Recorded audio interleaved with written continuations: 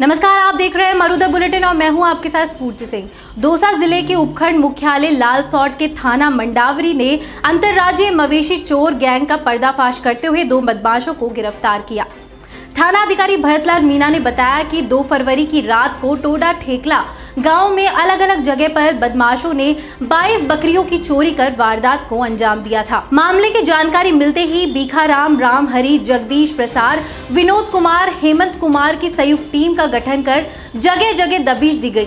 मुखबिर से मिली सूचना और साइबर सेल की मदद से 10 मार्च को जगदीश उर्फ़ रामलाल को दबिश देकर भिवाड़ी से गिरफ़्तार किया गया। थाना अधिकारी भरतलाल मीना ने बताया कि दोनों ने हरियाणा और राजस्थान के कई स्थानों पर चोरी की वारदातों को अंजाम देना स्वीकार किया है। हमारा ये वीडियो आपको पसंद आया हो तो लाइक और शेयर ज़रूर करें। और हाँ हमारे चैनल को सब्सक्राइब और फॉलो करना बिल्कुल ना भूले, ताकि देश और दुनिया की कोई खबर मिस ना हो। तो जुड़े रहिए हमारे साथ और देखते रहिए मरुधर बुलेटिन, क्योंकि जिसकी कोई नहीं सुनता, उसकी सुनता है मरुधर बुलेटिन।